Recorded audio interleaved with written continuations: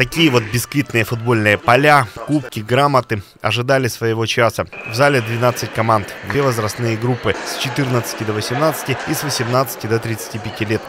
Владимир Зайцев с товарищами из второй школы. О том, что будет проходить турнир, им рассказал тренер футбольной секции. Говорит, что не раз играли вместе, поэтому собраться проблем не было. Ну, мне нравится, я кайфую на поле.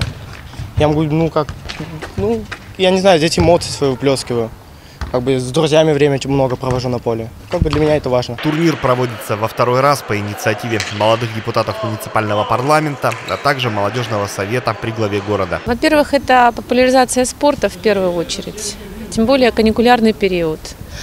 А, команды могут быть сборные, значит это объединение. Совет молодых депутатов как представитель молодежи, должен объединять, объединять молодежь. И то, что она объединена в спорте, это, наверное, только одно из направлений. У турнира появились первые спонсоры. По сравнению с прошлым годом число команд-участниц увеличилось в полтора раза. Организаторы говорят, что желающих было больше, но не все успели оформить документы. Они необходимы по правилам организации таких мероприятий. Чтобы попасть 100%, во-первых, нужно информацию довести до самих участников, собрать, а, пройти э, медобследование у врача, получить допуск, потом пройти в страховой компании страхование и непосредственно явиться на начало мандатной комиссии. В городской администрации говорят, что любое спортивное состязание само по себе социально значимо, а данный турнир интересен, так как в нем принимают участие сразу два поколения. Встречаются поколения, которые друг другу передают опыт. Тоже ребята смотрят, сейчас вот играет у нас старшая возрастная группа.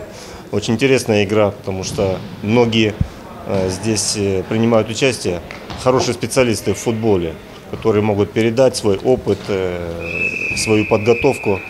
И для молодых ребят, которые будут в дальнейшем играть, я думаю, что это также скажется на их результативную игру. Сегодня в Анапе футболом, помимо спортивных школ, можно заниматься на многофункциональных площадках. Сегодня их более двух десятков в самом городе и сельских населенных пунктах. К чемпионату мира 2018 года будут построены две тренировочных базы, которые после окончания первенства останутся в распоряжении горожан и гостей курорта. Так что в ближайшее время число желающих показать себя на поле будет только расти.